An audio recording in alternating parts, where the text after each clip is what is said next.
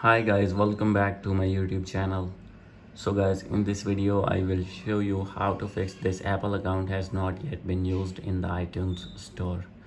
So guys if you have created new apple id on your iphone or ipad and uh, after creating your account and log in your account when you try to download apps from your app store and you will see this type of error again and again i will help you. How can you fix all of these problems so let's get started without wasting any time. First of all go back on your home screen. And guys now you need to open your settings. Make sure that you have connected with strong internet connection. After this go back check for software update and you need to update your iphone to latest ios version. And now guys you need to go back. So guys from here you need to select your apple id account click on media and purchases and click on view account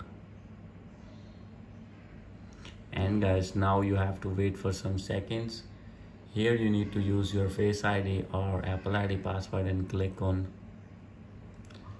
here is the option of country and region.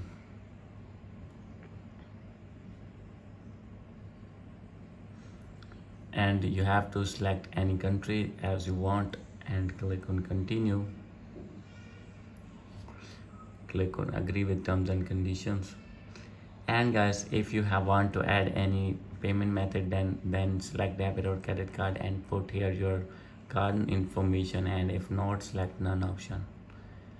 And here you need to enter your billing address. Must you have to enter your billing address because this error has been occurred due to you have not entering or putting your billing address. So that simply you have to put that address here. And here you need to put your phone number and simply you have to click on done. And after this your problem will be fixed. So guys this is the possible way to fix your problem. Hope you like this video.